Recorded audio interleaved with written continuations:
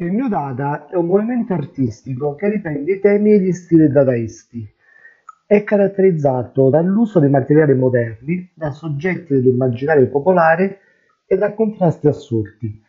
Inoltre nega apertamente i concetti tradizionali dell'estetica. Gli artisti New Dada sono protagonisti di una nuova stagione della poetica dell'oggetto, assunto nella sua condizione di materia povera quale recupero e montaggio di prodotti usurati e abbandonati dalla società che li ha sfruttati. I presupposti poetici di questo riscatto dell'oggetto costituiscono la principale differenza tra il Dada e il Dadaismo, nel quale tuttavia può dirsi una continuazione scaturita dagli sviluppi stessi dell'avanguardia storica. Questa è un'espressione di una precisa condizione eh, culturale americana, il New Dada, con il ricorso all'uso di oggetti e materiali estranei alla pittura, si inserì con peso determinante nel processo di esaurimento dell'arte informale ed anche di quella astratta, ponendosi con le esperienze più mature all'origine della poetica della pop art.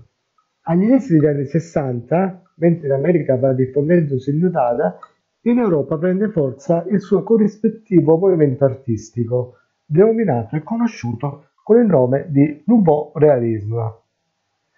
I rappresentanti sono Armand, César, Daniel Square e Mimo Rotella.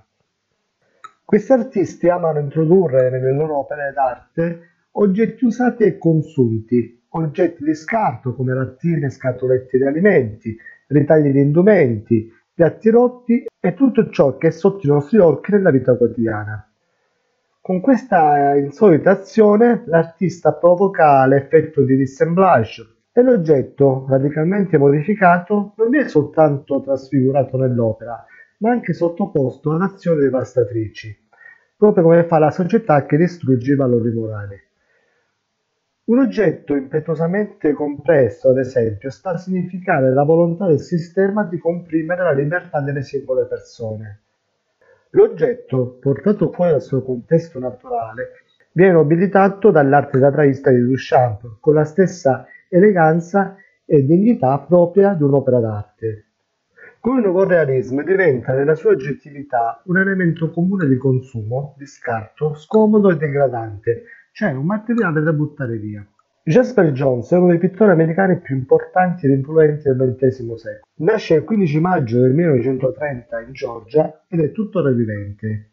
Dotato di uno spirito artistico, inizia a disegnare già da bambino e già all'età di 5 anni diceva di voler diventare un pittore. I suoi insegnanti d'arte gli consigliano di trasferirsi a New York, cosa che fece alla fine del 1948, anche per fuggire alla difficile situazione familiare. Jasper Jones frequenta la Person School of Design per un semestre prima di arruolarsi all'esercito durante la guerra di Corea. Tornato a New York nel 1953 e nel 1954 inizia a lavorare in una libreria dove stringe amicizia con il pittore e fotografo Robert Rauschenberg, che ha 5 anni più di lui e con il quale stringe una relazione sentimentale. Jones è una personalità cruciale degli anni cinquanta perché, insieme a Rauschenberg, funge da elemento di unione e di continuità fra il movimento del New Dada americano e la sua derivazione europea. L'opera di Jones rappresenta una posizione di sintesi tra due culture profondamente diverse che in quel periodo più che mai scoprirono molteplici punti di contatto. Il tratto distintivo dell'opera di Jones che caratterizza nel modo più marcato tutta la sua opera è l'abbandono del significato che normalmente si conferisce agli oggetti. Jasper Jones assume un atteggiamento in un certo senso tradizionalista, che costituisce il tratto distintivo che lo differenzia dalla pop art, la quale ricicla in una pittura volutamente fredda ed impersonale le immagini proposte dai mass media. Gli manca inoltre la carica ironica e distaccatoria tipica dei Dada, dove l'oggetto acquisisce il carattere di un feticcio inerte, di un simbolo stereotipato. Jones ha sempre mostrato un interesse intellettuale per l'oggetto in sé. Jasper Jones ha utilizzato come immagine di elezione la bandiera americana, in questo caso in versione segnatamente materica, in tutta una serie di dipinti realizzati attorno alla metà degli anni 50. presentandone il familiare aspetto in veduta totalmente frontale, così che venne a chiedersi, guardando questi quadri, quale sia la differenza tra una bandiera reale e questo simulacro dipinto divenuto arte. Nel suo sperimentalismo, Jones ricorse a una tecnica praticata già da molto tempo, risalente addirittura all'antico Egitto, la pittura a incausto, ovvero la cera calda mescolata con il colore. Ovviamente a questa tecnica aggiunse del suo. La bandiera infatti è dipinta su carta di vecchi giornali, applicata a tre pannelli di legno assemblati. Se si guarda il quadro da vicino si possono persino scorgere i testi delle vecchie pagine. Il pittore voleva riprodurre qualcosa che fosse ben presente a tutti. Think that mind already know, per concentrarsi piuttosto sulla realizzazione stessa, ecco allora apparire ai nostri occhi un quadro che per colore, dimensione e forma rinvia spontaneamente a una bandiera degli Stati Uniti d'America, ma che per natura rimane pur sempre un quadro, senza bisogno che qualcuno lo ricordi alla maniera di Magritte e alla sua pipa surrealista. L'artista calabrese, nato con il nome di Domenico Rotella, è considerato uno dei protagonisti della scena artistica della seconda metà del XX secolo. La sua figura è legata al movimento del Nouveau Realisme e della pop art internazionale. Di Rotella non esiste una singola opera particolarmente significativa. Diventò famoso per essersi inventato, durante gli anni 50, una forma d'arte che lui stesso chiamò decollage. Rotella, mentre attraversava un periodo di crisi artistica, si fece ispirare dai manifesti strappati per la città di Catanzaro e iniziò a portarli nel suo studio e a lavorarli. Il risultato sono delle tele su cui Rotella incollava uno o più pezzi di manifesti lacerati, spesso sovrapposti. Rotella voleva in qualche modo trovare qualche forma di innovazione artistica, visto che secondo lui tutto ormai era stato detto e fatto, e allo stesso tempo dare dignità artistica a un oggetto comune e di scarso valore, tolto dal suo contesto naturale. Le sue opere furono esposte per la prima volta nel 1955 all'Esposizione d'arte attuale a Roma.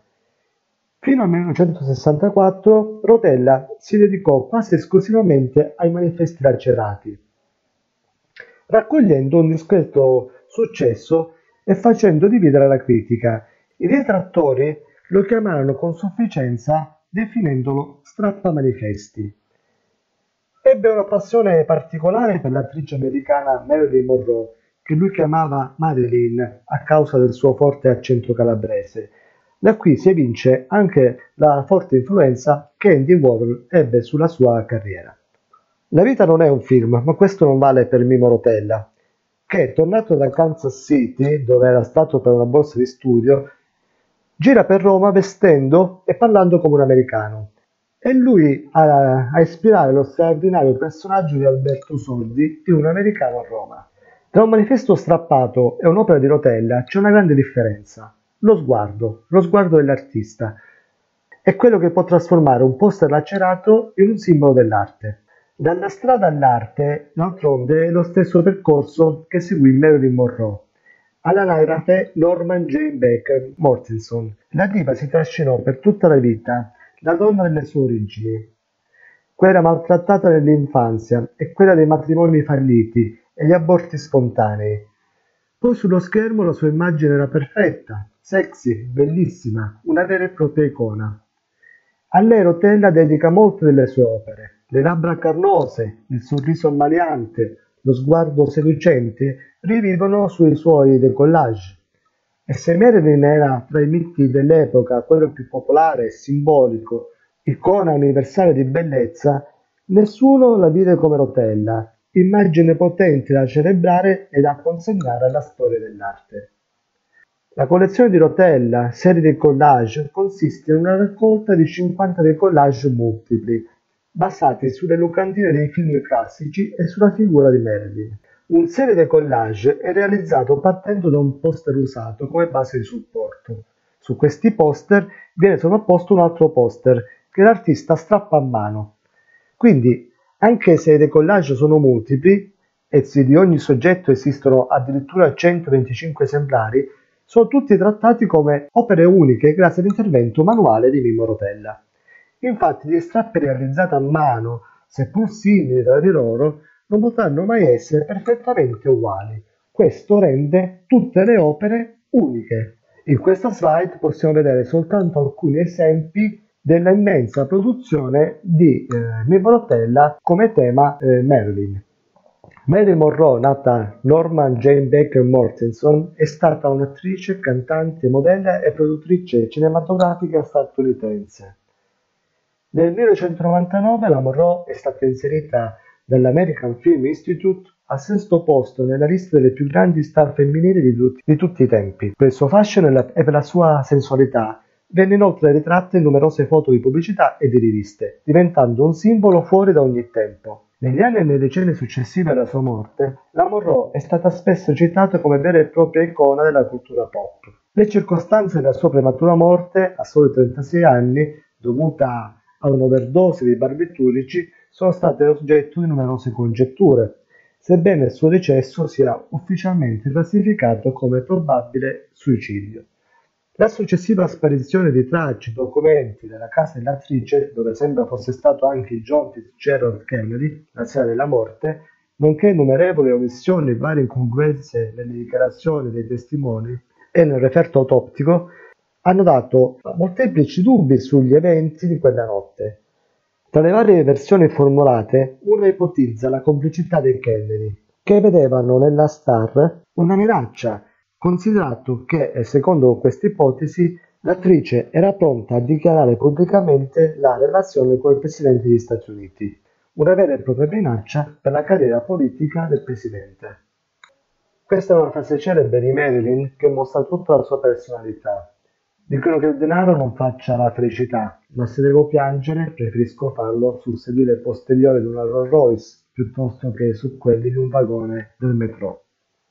In questa foto invece eh, vediamo Mimo Rotella vicino a uno dei suoi tanti eh, decollage con il tema centrale di Marilyn. Questi invece altri esempi eh, legati alla produzione artistica del maestro calabrese che eh, riprende manifesti eh, famosissimi di pellicole cinematografiche come Casablanca e anche naturalmente eh, ricorre a manifesti pubblicitari del circo. Piero Manzoni è stato pioniere dell'arte povera e dell'arte concettuale. Nasce il 13 luglio del 1933 a Soncino, in provincia di Cremona, da una nobile famiglia e muore all'età di soli 29 anni a Milano, il 6 febbraio del 1963, stroncato da un attacco di cuore. L'opera di Piero Manzoni diviene un punto di riferimento per la generazione di giovani artisti italiani riuniti dal critico Germano Celant nella prima mostra di arte povera, che si tenne nel 1967. Il suo lavoro è ampiamente visto come una critica della produzione di massa e del consumismo che ha cambiato la società italiana, il famoso miracolo economico dopo la seconda guerra mondiale. L'atteggiamento emotivo che caratterizza la produzione di Piero Manzoni è quello di criticare la figura dell'artista, in quanto, secondo lui, è sopravvalutato dal pubblico. Attraverso l'arte vuole esprimere la parte più intima dell'autore, prendendosi gioco di lui e contrastare così il mito dell'opera, che invece vive grazie al collezionista. L'arte di Piero Manzoni non ebbe una lunga durata, ma eh, ai suoi posteri insegnò molto attraverso la pittura, gli scritti e le performance. Come tutti gli artisti, o quasi, ha saputo rappresentare in modo originale la realtà del suo tempo, osservandola con occhi diversi e scuotendo gli animi del suo pubblico verso la curiosità e la creatività a volte eccessiva. Amante dei viaggi, in particolare la Danimarca, dove pianificò diversi dei suoi lavori, Piero Manzoni sarà sempre ricordato per l'opera per antonomasia, Merda d'artista, una scatola dal diametro di 5 x 6 cm e mezzo, il cui vero contenuto ha creato grandi dibattiti e discussioni. Molti lavori di Piero Manzoni esigono il nascondismo dell'opera d'arte. È il caso delle linee, realizzate in esemplari di diversa lunghezza, da 1,76 m fino addirittura a oltre 7 km, realizzate tra il 1959 e il 1961.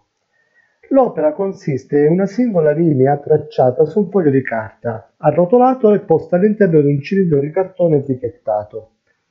Nell'intenzione dell'autore, il contenitore sigillato non sarebbe mai dovuto aprire.